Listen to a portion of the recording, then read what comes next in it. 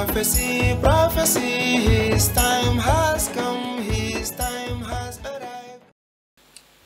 Bismillahir Rahmanir Rahim. Au nom d'Allah, le tout miséricordieux, le très miséricordieux.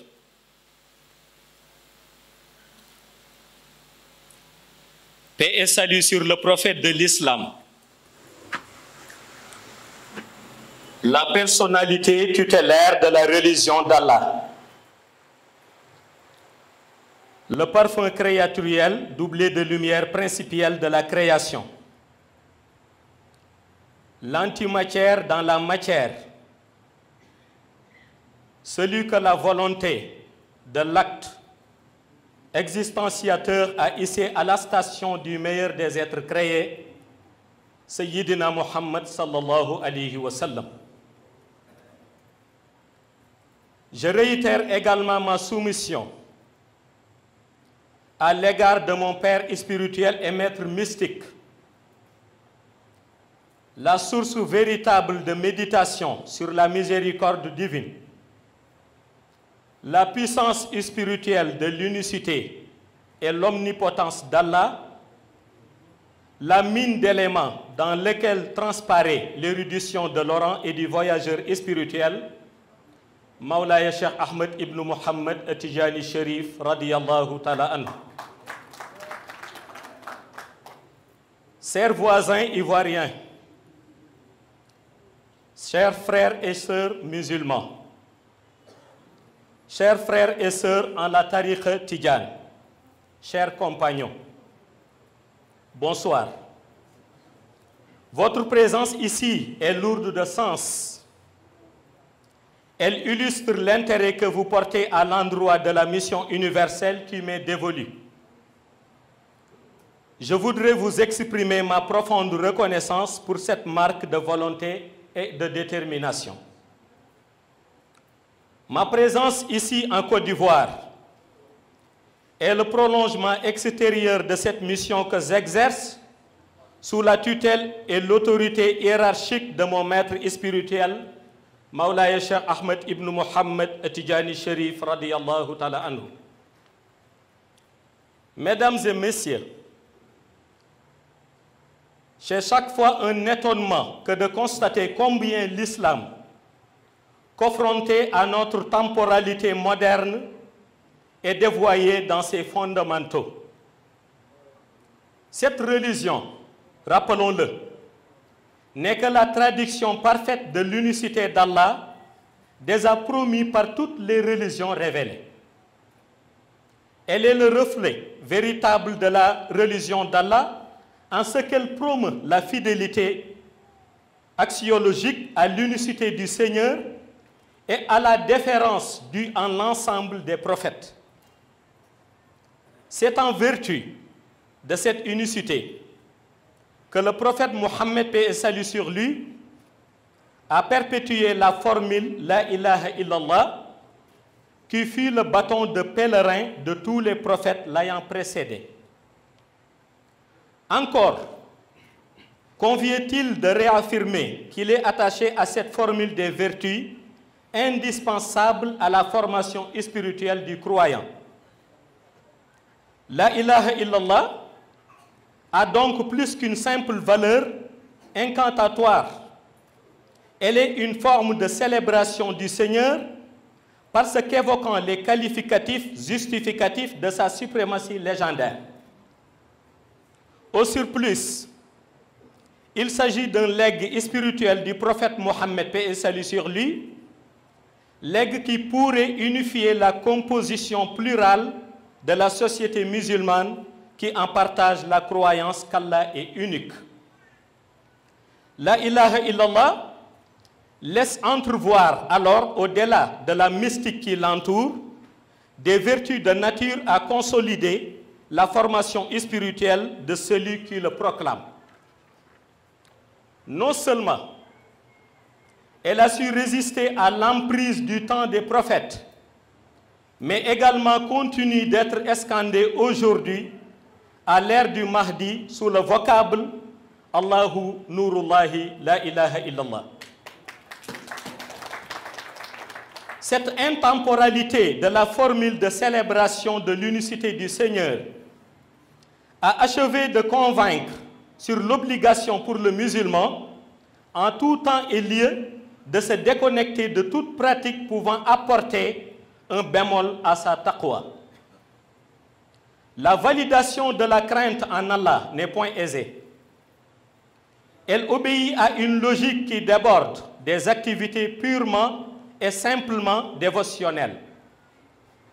Cette crainte devrait transcender les rapports entre le musulman et son créateur pour se manifester au rapport entre le musulman et ses semblables indépendamment de leur race, origine et couleur. En dépit de cette teneur spirituelle caractéristique de l'islam, force est d'admettre sa résonance sociale qui insuffle en chaque musulman un devoir de fraternité à l'égard d'un autre musulman. Cela convoque la problématique de l'entraide tant matériel qu'immatériel qui doit consister, qui doit constituer la clé de voûte des relations que tous les musulmans du monde sont appelés à nouer. Il s'agit d'une résultante d'une prescription coranique qui indique que tous les musulmans doivent se regarder comme des frères. C'est dire que l'islam, dans son orthodoxie, est un lieu de concorde et de solidarité entre ses adhérents. Il existe en effet une antinomie principielle entre injustice et islam qui abjure autant la division que la violence. L'espace purement islamique est essaimé par une volonté de pacification des rapports humains. Le binôme islam-paix suggère la nécessité d'une union de la communauté musulmane par le syncrétisme et la sublimation des valeurs inculquées par notre prophète. Ce sont des valeurs irénologiques, marqueurs identitaires de la sagesse islamique qui ajournent les contre-vérités initiées par des prises de position islamophobiques. Cette réalité est à rebours du modèle islamique présenté par des Occidentaux mal intentionnés qui se sont forgés une vie de l'esprit qui s'écarte du rigorisme religieux de l'islam et des musulmans.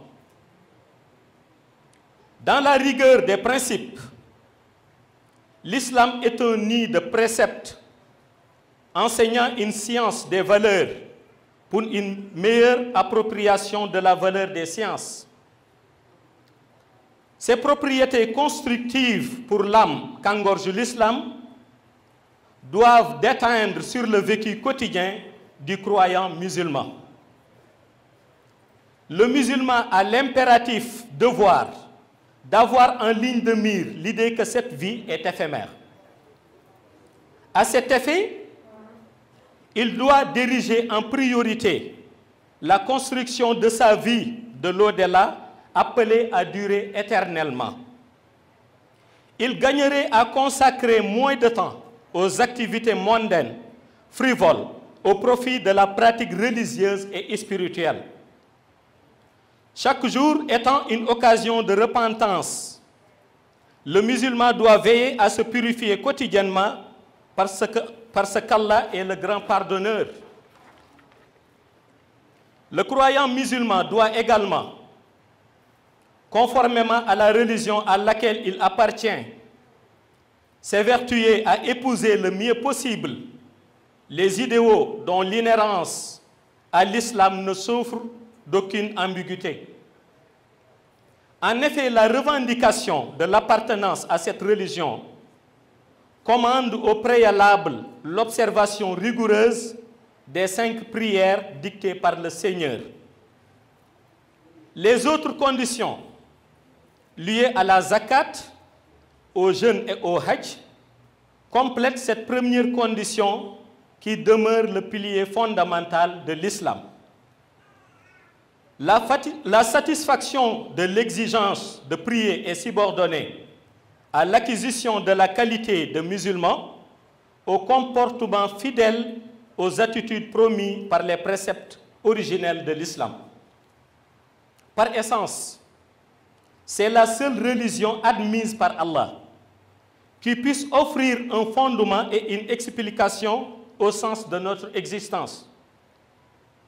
C'est dans cette perspective que je considère que l'islam et la tariqa tidjane présentent une même congruence, ce qui invalide l'argumentaire aussi fallacieux que farfelu, mobilisé par des détracteurs du tidjanisme qui tentent de trouver une source linéamentaire à la tariqa tidjane en dehors de l'islam. Une telle critique dénuée de fondements scientifiques témoigne de l'attention peu soutenue que ceux qui la proclament accordent à l'exégèse des textes sacrés qui gouvernent la religion musulmane. En réalité, il n'y a rien qui touche à la tariqa tidjane et qui transgresse les recommandations coraniques. De prime abord, il convient de dire que la tijania est une solution aux vicissitudes de la fin des temps ou préempte des formes contemporaines de crise d'autorité, de légitimité et d'interprétation des textes sacrés. Maulay Cheikh Ahmed Tijani Sherif, par l'entremise de cette voix soufie, a entendu offrir à ses disciples une opportunité de vie vertueuse en cette période d'extrême délabrement de la spiritualité. Ne relève donc guère du hasard. L'injonction qu'Allah, par sa grâce et son immense miséricorde pour le genre humain, a faite au Mahdi de ne suivre personne ni rien d'autre que Maulay Cheikh Ahmed Tijani Sherif et sa voix. Au bénéfice de ceux qui peuplent ces temps, la tariqa tidjane est la vraie incarnation lumineuse de l'idée de sainteté. Les oraisons qu'elle a initiées sont un lieu commun d'absolution qui détache l'âme des aspirants de toute souillure. Cela est lié à l'effet du zikr répété d'istighfar, présent dans toutes les oraisons établies par Maulay Cheikh Ahmed Tijani, à savoir le lazim, le wadifa et la khadaratul juma. Le lazim polarise les secrets de l'intimité entre le fidèle Tidjan et son créateur. Il donne un sens plein à la notion de rapprochement au Seigneur, en ce sens qu'il est propre à créer un cercle de mille anges autour du disciple, lequel salmodie la salatul fatiha en même temps que lui. Le wazifa, quant à lui, participe des éléments d'absolution des fidèles tidjanes. Il a fait de ceux-ci les plus proches du cercle restreint et privilégié du milieu divin par l'effet conjugué de la présence spirituelle du prophète et l'émanation des 30 istighfar récités que j'ai eu à éclaircir dans mes différentes allocutions portant sur la tariqa tidjane. Je ne saurais épuiser les oraisons du tidjanisme en éléguant la khadaratul Juma qui prend les relents d'une émergence spirituelle perceptible au monde shahada. Elle est une vivification de la lumière divine permettant de faire un tour d'horizon mystique dans les alams suivants. Le.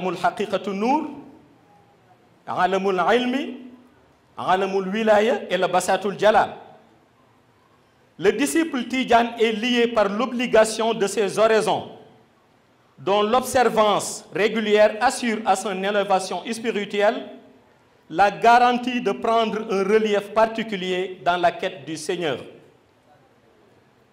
C'est ce qui m'autorise à dire que le tidjanisme regorge la crème de la crème de la conscience universelle. En vérité, le prophète Mohammed, paix et salut sur lui, a remis le werd à Maulay Cheikh Tijani Sherif en main propre pour que celui-ci élève des âmes au pinacle de la sainteté et du pouvoir. Pour ce faire, le prophète a fendu les arcanes du monde shahad pour lui témoigner de l'intensité du lien filial qui les rattache. À trois reprises, le prophète lui témoignant de l'intimité de leur lien en répétant Anta waladi haqqan. Anta waladi haqqan. Anta. Dans un premier temps, le prophète voudrait lui signifier qu'il l'avait investi de la mission d'abreuver les âmes de sa source, dont il est l'intermédiaire direct avec les autres créatures.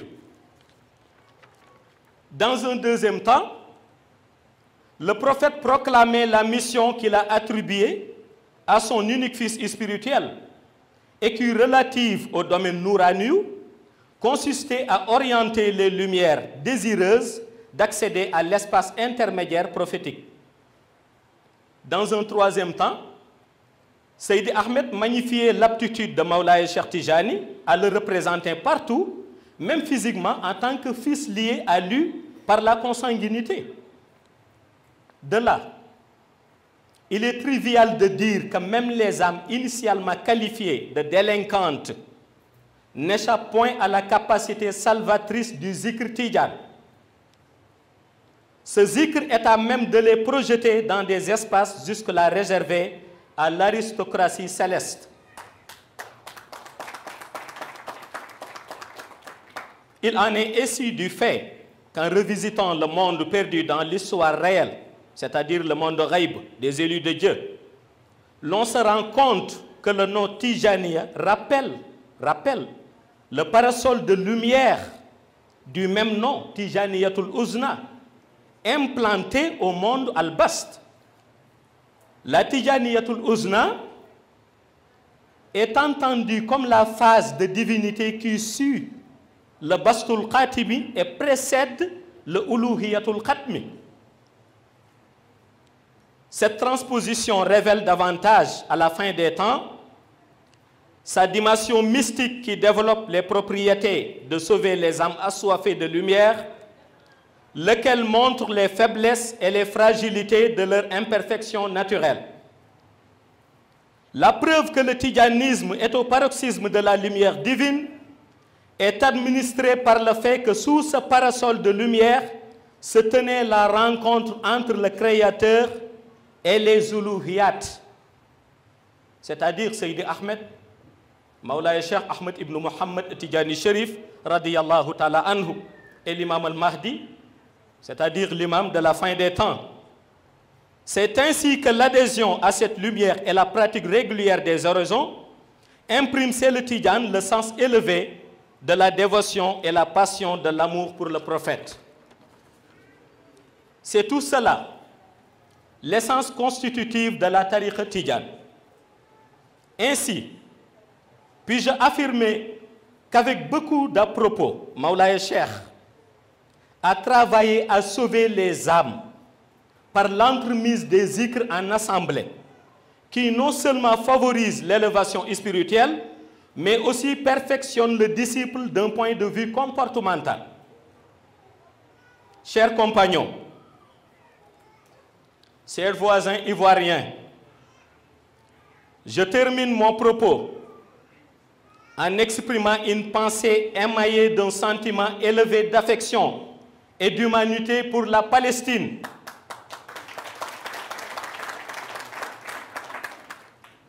J'estime qu'il est à la charge de tout musulman l'obligation de soutenir le peuple palestinien par quelque moyen que ce soit et quelle que soit la position diplomatique de nos États respectifs. À la lecture de la situation malheureuse qui sévit sous le ciel de la bande de Gaza, je suis peiné par le défaut de solidarité caractéristique du monde musulman. Je me demande légitimement s'il reste encore un pays musulman sincèrement sensible à la cause palestinienne.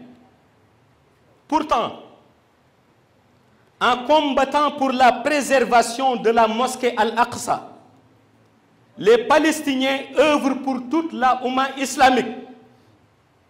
Cela est d'autant plus vrai que la mosquée Al-Aqsa symbolise le troisième lieu saint de l'islam. C'est l'un des emblèmes charismatiques de la religion islamique au même titre que la Kaaba et le Masjid Rasoul.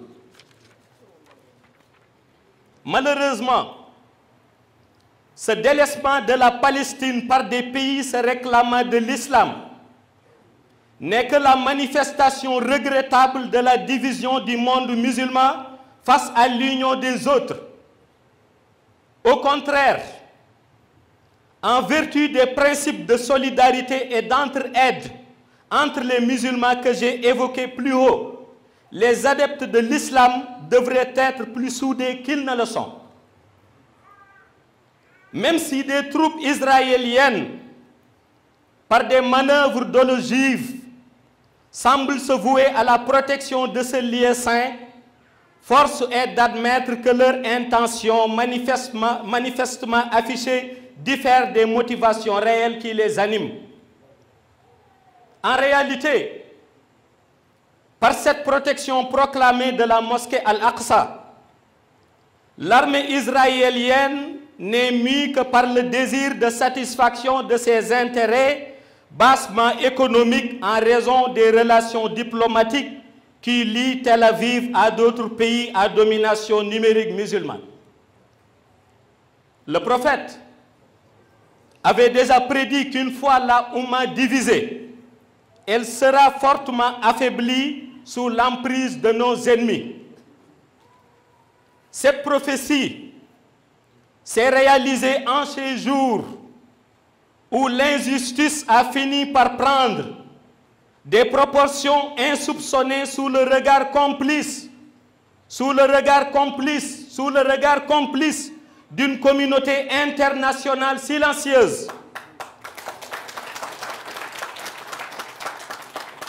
Le mutisme des dirigeants, surtout ceux des pays musulmans, prête le flanc à la critique et prend les atours d'une perfidie. Sous ce rapport, j'encourage le président turc Moussa Erdogan, qui a eu l'honnêteté de pointer du doigt ce qu'il estime être une hypocrisie de la part des Occidentaux. À ce propos,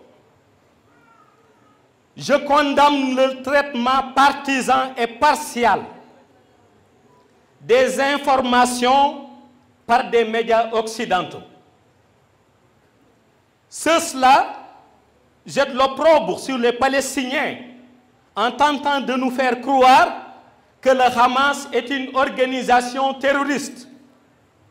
C'est de la pure manipulation médiatique qui n'a que pour ambition d'inverser qui de la Palestine et de l'Israël est une victime ou un coupable dans cette forfaiture. Une telle accusation relève d'une mauvaise foi démesurée dans l'exercice d'une turpitude. Ils misent sur cette manipulation qu'ils brandissent comme arme fatale. La vérité, la vérité, mesdames et messieurs, la vérité, chers compagnons, la vérité, chers voisins ivoiriens, est que la Palestine doit être vidée de toute colonie juive.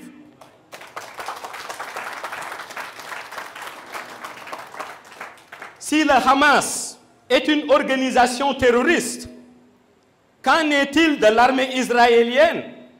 Qui n'hésite point à s'attaquer à des hôpitaux, des handicapés, des veillards, des femmes et des enfants N'est-elle pas l'armée israélienne qui a bombardé des civils et des habitations? Le Hamas n'est pas dans la provocation, il est dans la réaction face à une oppression appuyée par des puissances d'Occident. Pourquoi passer sous silence le déséquilibre des armes entre Palestine, entre Palestiniens et armée israélienne, en prétextant en même temps que les Israéliens sont des victimes dans cette histoire? J'invite tous les musulmans, où qu'ils soient dans le monde, à manifester leur soutien indéfectible à ces braves femmes et hommes que je considère comme l'un des peuples les plus endurants. Malgré la persécution dont ils souffrent depuis plus de sept décennies, leur courage n'a jamais été en berne. Qu'ils sachent que la rétribution qui les attend sera à, la hauteur de cette épreuve qu'ils ont pu surmonter jusqu'ici en attendant l'arrivée du Mahdi Salvateur. Salam ya Mahdi. Qu'ils sachent que toute cette spirale de violence qui les mine n'est que le signe manifeste d'un grand ménage préparant le grand rassemblement. Qu'ils sachent que toute chose a une fin, même ce calvaire qu'ils ne méritent pas. Qu'ils sachent qu'Allah est juste et qu'il est témoin de cette brutalité qui leur est gravement et manifestement infligée. Chers compagnons, chers voisins ivoiriens, je le dis sans embase, moi Seydi Mohamed El Cheikh, je suis de tout cœur avec le peuple palestinien. Je vous remercie du temps et de l'attention accordée. Merci beaucoup.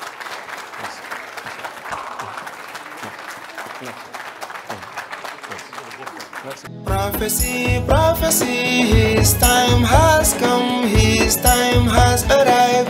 The one Rasulullah has told us about this mission at the end of time.